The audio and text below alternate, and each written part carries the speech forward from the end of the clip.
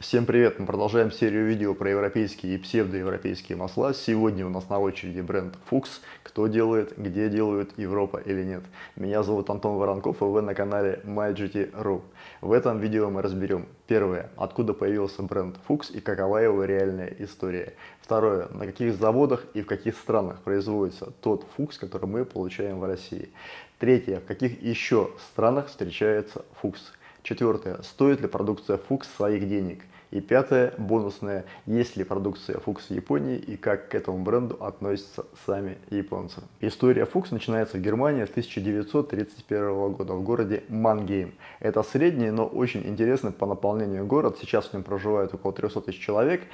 Там большая железнодорожная станция, очень важный речной порт, пересечение автомагистралей разных. В общем, как сейчас модно говорить, мультимодальный центр. Там находятся заводы концерна Daimler AG, там же заводы Джозефа Богеля, который выпускает лучший в мире асфальтоукладчики, является мировым лидером.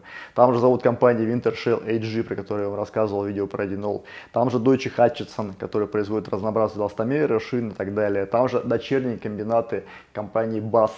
В 1886 году по улице Мангейма проехал первый автомобиль Карла Бенса, из фирмы которого позже был создан Daimler-Benz.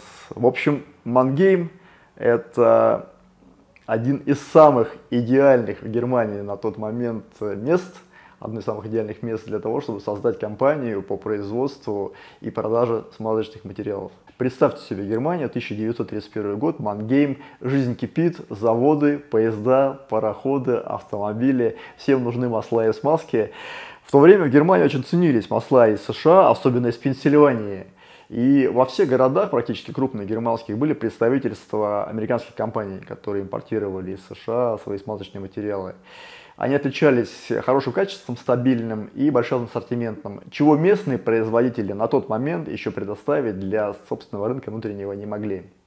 Какие именно компании из Пенсильвании имели представительство Мангейме в 1931 году прошлого века, очень тяжело сказать, потому что архивных данных сохранилось очень мало. Поэтому предположу, что возможно это были либо Western Auto, либо APN, либо Amphi Oil Company – либо Say Royal Book, либо Sterling Oil Division. Может быть, это был кто-то еще, по сути дела, это не важно. Самое главное, что масла из США, а конкретно из Пенсильвании, стали тем фундаментом, на котором была построена в дальнейшем та компания, о которой мы сегодня говорим, компания Fuchs. Молодой парень, Рудольф Фукс, в 1931 году ему был всего 21 год. Создает свою компанию, называет ее собственным именем. Официальные источники умалчивают, с какого перепуга 20-летний парнишка создает свою компанию по продаже масел, и каким боком он был ранее с этим связан. Вообще об этом нет ни слова нигде. Я предположу, что ситуация была такая на самом деле. Рудольфу было 18 лет, он устраивается работать в компанию, которая была импортером смазочных материалов из США, из Пенсильвании в том числе. В этой компании он проходит одновременное обучение и стажировку и работает там же. Что он делает? Думаю, что скорее всего он был там на подхвате. Возможно, развозил смазочные материалы по клиентам. Это могли быть разные ЖД-узлы, это могли быть разные предприятия различные, может быть, там связанные с теплоходами, пароходами, какие-то структуры, с ремонтом, может быть, и так далее. То есть он развозил масла, общался с клиентами, видел, что клиенты покупают, какие потребности у них есть. Раньше же не было ни CRM, там, никаких там для менеджеров, не было ни, ни отчетности никакой, какая вот сейчас есть у нас развитая электронная. Поэтому все было в устной форме, все было на словах, все было на личных связях, все было на знакомствах, все было на э, репутации построено. Поэтому Рудольф ездил, общался с людьми, знакомился, узнавал их потребности, что им необходимо. Может быть, не обо всем рассказывал своему руководству и так далее. Поэтому думаю, что через некоторое время, как и любому талантливому менеджеру и целеустремленному человеку, ему приходит в голову мысль, что пора бы распрощаться с компанией, начать создавать собственный бизнес. Мысль работать на себя всегда очень соблазнительная. Она приходит на ум любому продажнику рано или поздно. И вот уже прощение с конторы, скупая мужская слеза, небольшие вложения, и у Рудольфа есть крохотное маленькое помещение в местной бойне, стол, стул, велосипед и понимание того, что нужно делать и в какую сторону двигаться. Напомню, что Фукс это фамилия создателя того бренда, о котором мы с вами сегодня говорим, Рудольфа Фукса. Фукс в переводе с немецкого это леса, и у этого слова есть еще два таких забавных значения.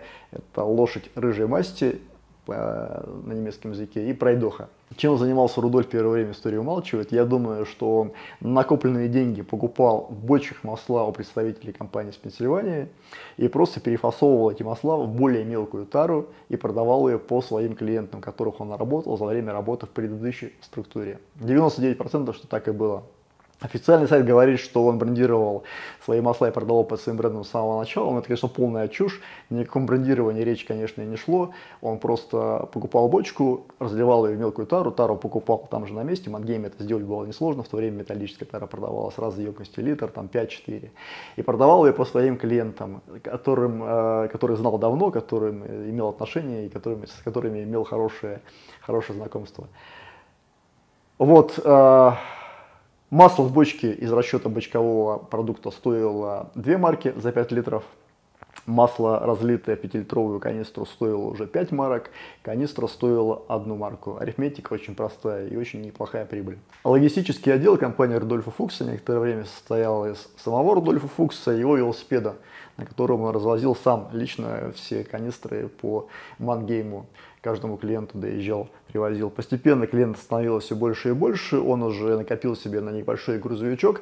И вот тогда, когда уже куплен был грузовичок и стало клиентов больше, пришло время для брендирования.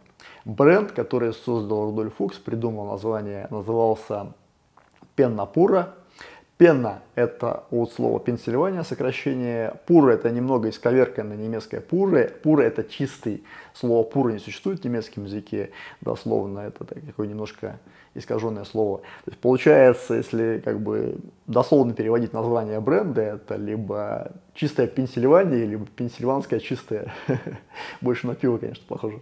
Вот так выглядели упаковки. Конечно же, это не самые первые образцы, это гораздо поздние экземпляры первоначально его уже тяжело найти где-то в сети фотографии. С 31 по 35 год Рудольф крутится в прямом переносном смысле слова, как белка в колесе, мотается по всему Мангейму, развозит товар, там договаривается, устраивает связи и так далее. В 35 году он женится на девушке Ирме, на местной тоже уроженке Мангейма.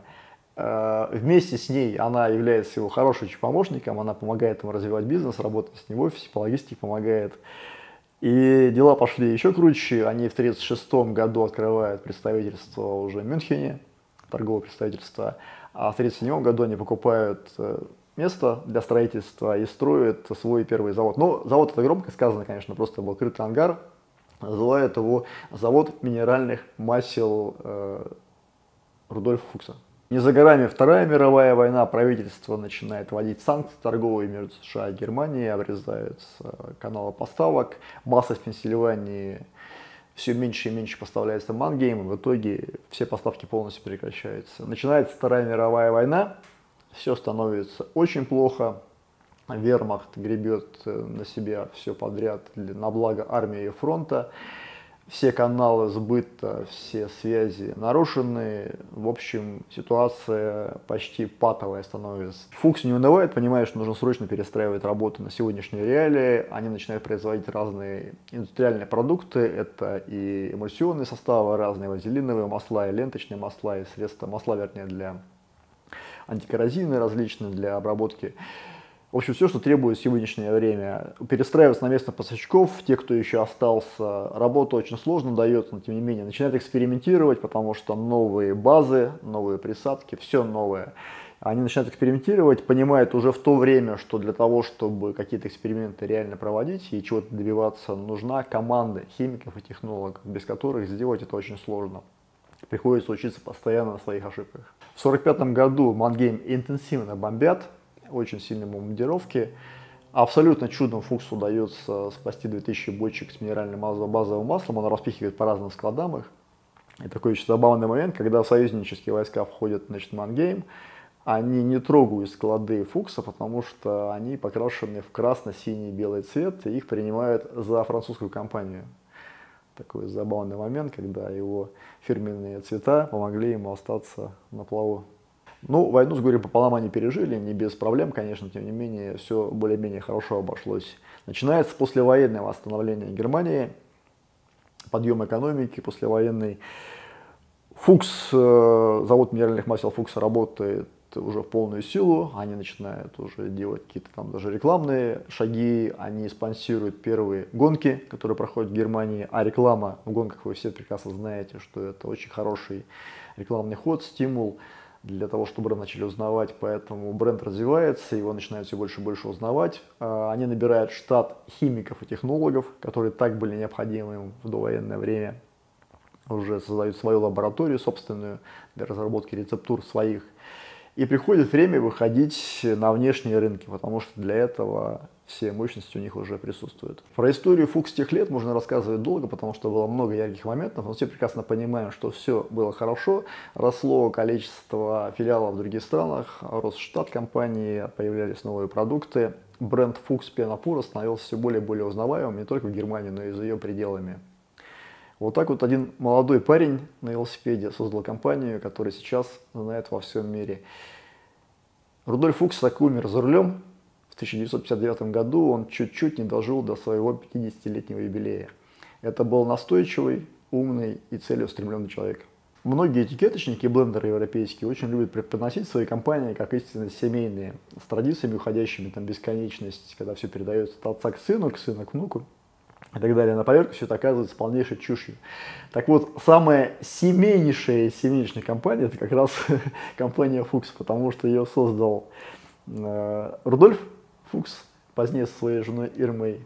После его смерти бразды правления принял его сын Манфред, а сейчас председателем правления является Стефан, это внук Фукса, Рудольфа Фукса. Поэтому, видите, это самая семейнейшая из всех семейных компаний, которую только можно представить. Действительно, семейные истории. Далее, в последующие годы идет череда слияний, вливаний, поглощений, покупки дочерней компании, создания совместных предприятий и так далее. Вы об этом можете сами почитать, в общем-то, информация открытая. Рассказывать об этом не вижу особого смысла. Так вот, на сегодня компания Fuchs это очень сильная компания, у нее больше 120 различных торговых и производственных площадей, есть предприятия, вернее, есть по всему миру, причем это 2 миллиарда прибыли от продаж в год, это очень много. В общем, это очень сильная, большая, крупная компания европейская. Во второй части видео мы рассмотрим с вами чистую конкретику. Кто делает, где делает, на каких заводах, откуда поставляется к нам в Россию и насколько страшна локализация производства в России в городе Калуга. На этом все. Надеюсь, видео стало для вас полезным. Подписывайтесь, ставьте лайки, жмите колокольчики. Всем пока.